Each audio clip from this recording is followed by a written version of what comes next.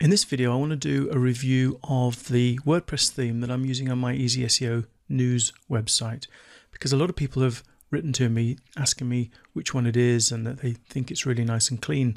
The nice thing I like about it is it's responsive. So if I change the size of the screen, let's say you're looking on a small, thin, narrow thing like a, a mobile phone or a tablet, then it's responsive and it changes to match the size of the screen. So that's one of the best things about it. It's also very fast and it's highly customizable. And it's probably no surprise then that the name of this theme is Customizr Pro. This is an individual page on my site. You can see that the headline actually shrinks down as we scroll down to make more room for the main content. We've got breadcrumb navigation at the top, the title with number of comments. You can include the author details and some of the other things like tags below there, but I've actually got that turned off. On this particular page, I've got a right hand sidebar. The main content is over on the left, the large window on the left, and then underneath I've got recent posts, which is done with a plugin. The author bio box is actually built into the theme, and then we've got the comments and underneath that we've got nested comments and then a footer. And the footer has three widgetized areas to it as well. But I want to show you briefly how this theme works. Let me just go to the homepage quickly because the homepage is slightly different. The homepage doesn't actually have any sidebar but what it does have is a slider at the top and that again is built into the theme and I'll show you how to do that in this video. We've got these featured articles featured posts and you can have as many or as few of those as you want. I've actually got it set up for a, three rows of three columns. And then I've got some content because my homepage is set up as a static homepage as opposed to just viewing the recent posts. This is an advert from or for my web hosting company, or not my web hosting company, but the web hosting company that I use. And that's that is actually done with a plugin. If I just refresh, you'll see that that is an animated banner. There we go. And then down here we've got recent posts and that again is a plugin. So that's what the theme looks like after I've customized it. What I've done is I've set up another website that has some demo content on it and this is the one and this is the default template pretty much as it comes out of the box.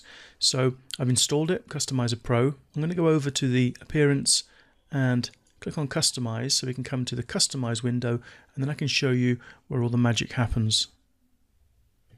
Okay, the customizer screen has now opened and you'll see here on the preview window we've got some hints. Now if I was to open the site in a browser you'll see I've also got those hints on there. Here's another one down there and that's it for there at the moment but you can see these hints on there those are only because I'm signed in and you can turn them off down here in the advanced option. They're the front end placeholders and help blocks. We can just turn those off and then they will disappear from the preview and also from the site. Now we just need to save that. And then if we go over to the site itself, we should see that that actually disappears now. Okay. So let's go back to the customize page and I can go back to the main customize menu with this little back arrow and I'm actually in the advanced options so I can go back again to the main options. And the very first thing I usually do is I change the color scheme because the color sch scheme is not one I like. And to do that we go down to global settings and skin. And then I'm going to just select black so that everything starts off a more normal color. And you can see there that we've got things changing to black And while we're in the global settings, you can change the site name and tagline if you like. You can upload a fav icon directly into the settings here if you want. The fav icon is the one that appears, if I just bring this down a little bit, appears in your web browser up here in the tab. So you can change that if you want to. You've also got the option of uploading an image logo, but beware that the image logo is only a small logo on here, so you'll have to try it and see what it looks like. I don't personally use one on my sites. So let's just go down the other global settings that we've got. The first one is Google Fonts. We can choose an overall font for the site if you like, and depending on what you like, there are a number of different fonts you can have, and you can see that the fonts on the site change accordingly. One that I like is, let me see if I can find it. Here we are, Source Sans Pro. I particularly like that one, and I also like to have the minimum size on my site a little bit bigger, maybe 20 or 22. So we can go back. Remember, as you're going along, you should save and publish. I'm going through this quickly, so I'm not going to be doing that. The social links, you can see this is an RSS icon. You can also put in other links. Let's say webmaster at my domain. So I put in an email address. We should now see the email logo appear there. While that's working away in the preview, let me also put in a Twitter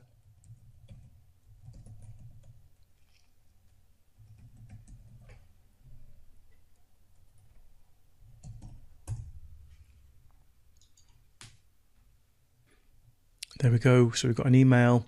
Somebody can contact you through the email, contact you through Twitter. You've also got Facebook, Google Plus, Instagram, Tumblr, Flickr, and various other things you can include in there as well. So that's social links. And the next global setting is link styles and effects. And this you can define how links on your site work in general. So for example, if you want, you can display a little icon next to external links so people know they're leaving the site. And you can also force external links to open in new windows and there's this fade effect as well but you can have a look at that. Titles and icons. Now this is something that I'm not that keen on. Let me see if I can go to a page and I can show you what they looks like. I'm just going to click on a post in the preview window because it's easier to explain when I get to a post. Okay and we're now here on the post and you can see here's the title and next to it there's this pencil and I actually don't like that. And also next to the folder next to the categories, there's a folder icon. I can actually delete both of those just by unchecking that. But you've got more options there if you want to play and have some and not the others. The next one, image settings, you can have the built-in the lightbox. In other words, when you have an image and somebody comes and clicks on the image, the image enlarges in a separate window in, in a lightbox fashion. You can have that, and there's various other options there for images as well. I'm going to run through these really quickly because there's some more important things I want to show you. The authors, this is where you can have the author bio box shown on posts. I've got it selected there. The reason we haven't got an author bio box on this is simply because I haven't entered author details. I haven't entered the author name, author description, set it up with a gravatar so that I actually get an image showing as well. But if I go over to my Easy SEO news site, you can see what it would look like. Let's scroll down to, oops.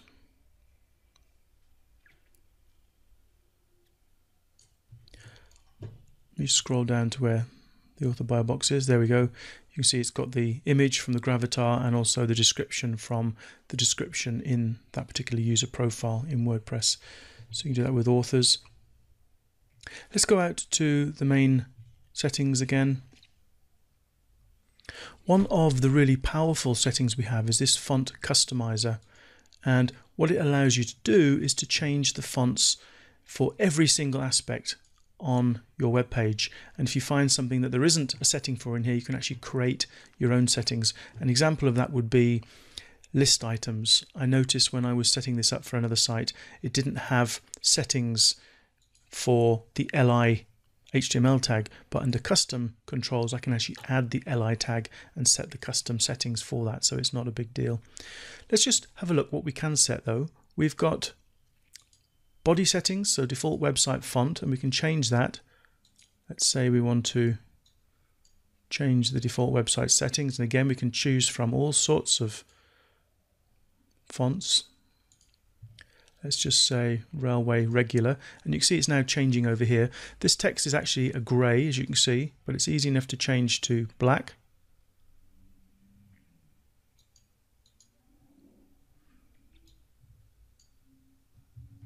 And we can change the default size of the text and line height as well, so how it's spaced out. We've got all these other settings as well for the body text. We've also got very similar options for setting the headings. So we can put up here, we've got the site header or site title, I should say. Let's just click on that and we can increase the size of that if we want to. Okay, we could change the color if we wanted to, but I'm going to leave it. Okay, see I'm changing it there. I'm going to leave it at black. And you can set various text formats, transformations. Site description as well. I've only got a tiny little site description there of demo site. But again, I can I can change the fonts. So individually, I can change the fonts on every single item on the site. Sliders and featured pages. This is the, the slider here. We can change the settings of that. Featured pages are down here, so we can change the fonts for those as well. We can change the fonts for posts and pages. You can see we can change the actual text, the post titles, post list titles, archive blogs, and so on. H1 headers, H2, and you can modify the fonts of absolutely everything. I'm going to leave that for now because I want to go back and show you some other stuff. I'm just going to save it so I don't lose anything that I've already shown you. Okay, and then I want to go back up to the previous menu and we've just had a look at the font customizer and global settings. Under the header, we've got design layout. We can say how we want this header to be laid out. So logo tiled centered, you can have logo title on the left we don't actually have a logo, but the title will move over to the left. Okay, we can have the title on the right. I always usually put it title centered. You can see at the very top, I think, let me just bring this down a bit. You can see at the very top, there's a black border at the top. That is this display top border. We can get rid of that if we don't want to. I'm going to put it back. We can even remove the tagline if we don't want to. We can decide whether we want these social links in the header. This is still updating, previewing, but look, we can remove the social links from the header if we want to. Let's just put them back. And the menu, you can see over here, this is the menu at the moment. Well, there's no menu assigned. All of this is inside a box, and you can remove that box easy enough. And then you've got these other options. What happens to the header when you scroll down the page? Does it shrink in size like you're seeing there? Okay, so those are the some of the heading options, the ones that I tend to use more. Let's go back to navigation menus. And in the navigation menus, we can decide which menus we want. And I've got some, again, some demo men menus here. Okay, so I've selected the menu. Down here, you can say how you want the menu to appear. Let's say we want it regular horizontal, which is similar to how I've got it over on my Easy SEO News website. We've got the menu here and it drops down when there's more items in that menu. Let's go back to this. Now you can see there we've got the menu at the top and of course we can change all the colors of the menus and the fonts. You can see the fonts look a little bit stranger. We can change all those in the font section that we've already looked at. So you've got complete control over that as well. Let's go back and have a look at the content. And the first options here we've got are featured pages and these are the ones down here okay, where you can have the featured image and then title and description. You can decide where you want it. I've got it actually after the header. So we've actually got the, the, the header, header and then the slider underneath. Then the featured pages go there. You can decide here featured page number. I've got three in this demo.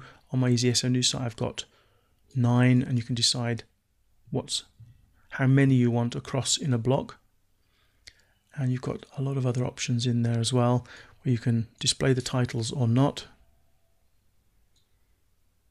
You can change the button text, you can change the button colors and everything else as well. Let's go back and have a look at the next option. Front page, do you want the latest posts or do you want a static page? We can also say we don't want sidebars, which is what I've got on the home page. This is just for the home page. Or I could have sidebars if I wanted. That's my choice. And at the moment we've got this demo slider, but we can actually create our own slider as well. Or let's just remove the slider altogether.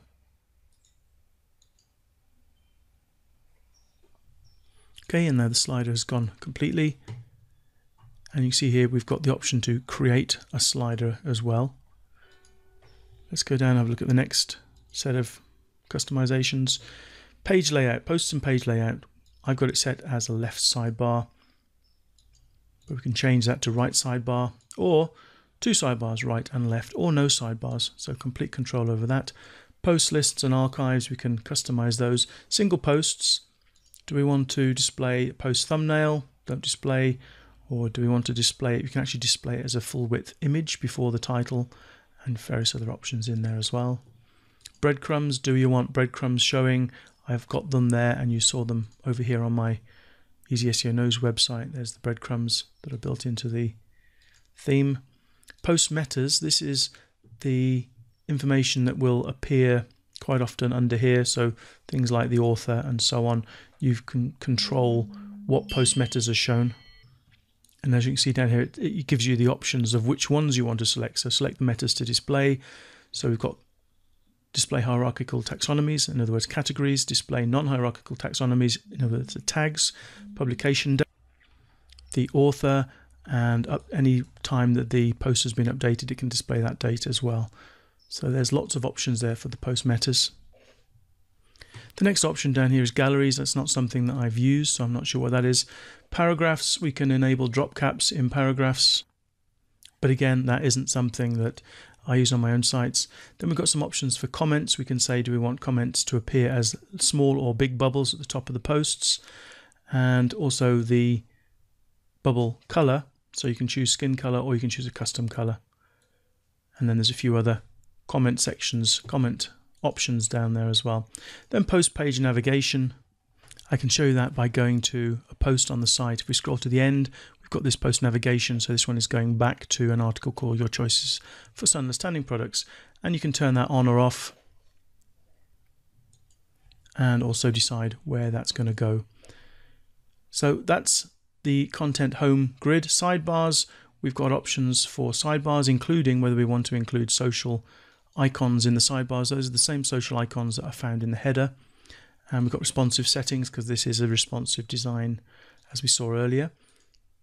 And then we've got footer options. And if I just scroll down to the footer area of my site, we've got footer global options. We can include social links down there. You can see them at the bottom. Stick the footer to the bottom of the page.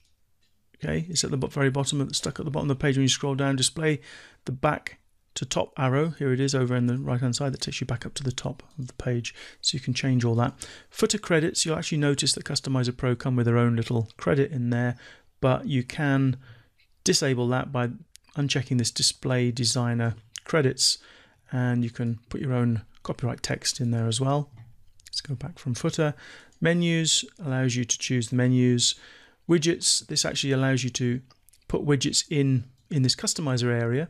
So let's say we wanted to have a custom menu in widget area 1. Widget area 1 is on the left, widget area 2 is in the middle, and widget area 3 is on the right. So let's just say we want to add a custom menu. I can select the custom menu. Which one do I want? I'm not sure what that photos one is because it's off uh, another website, but let's have a look. Okay, so then we've got this custom menu added into the footer. So we can actually add those in the widget section directly in this customizer area. And then we've got advanced options. And there's one advanced option which is particularly useful that I, I find I use a lot. And that is the custom CSS. Because all of the customizing we've done so far, there's certain things we haven't been able to change. Like the background color of here isn't white, and I'd actually prefer it to be white. And that's really controlled by the CSS on the website.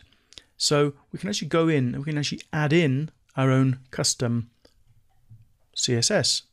Now I've already got some CSS that I use on my sites which I've written for my websites so I can just paste that in and once it's pasted in we should see the preview change.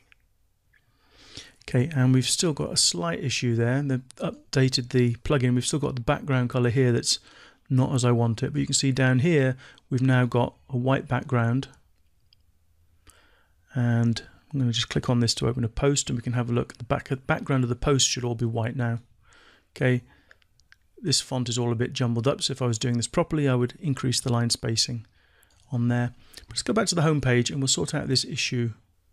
Now, one way you could do it is using Google Chrome, like I do, and using the Chrome Inspector, which is F12 on the keyboard, selecting the item, finding what class it is, and creating CSS to overwrite the class that is used in the normal style sheet for the for the theme.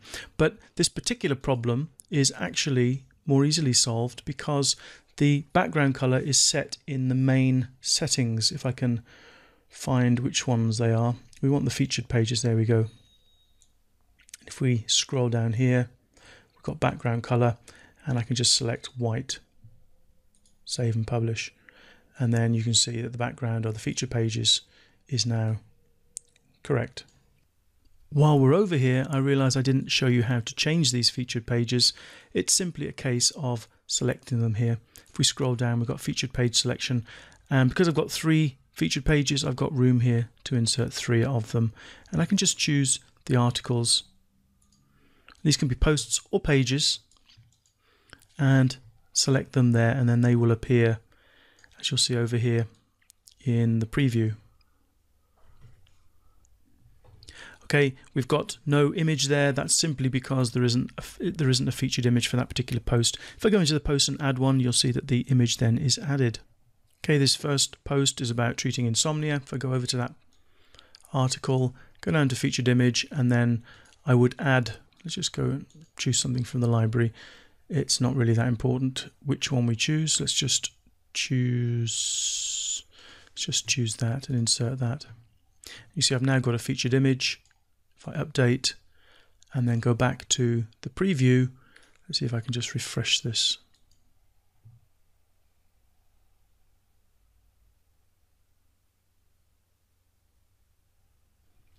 Okay, now we have the featured image in that one. So to get these images appearing, just go in and add a featured image. And that's all there is to that. One final thing before we leave, I've shown you quite a lot here, is that down here at the end we've got, because I've got posts as my homepage, I've got these posts in sort of a grid format and it's not very pretty in my view, but over on the content home, let's go back to the main custom here, content home posts grid, you can see that post lists and then we scroll down a bit, we see we've got the grid layout selected, but we can have alternate thumbnail layout. And then your posts will appear like this. If there's a thumbnail as well, you can see that the thumbnail is now shown with the excerpt from the post.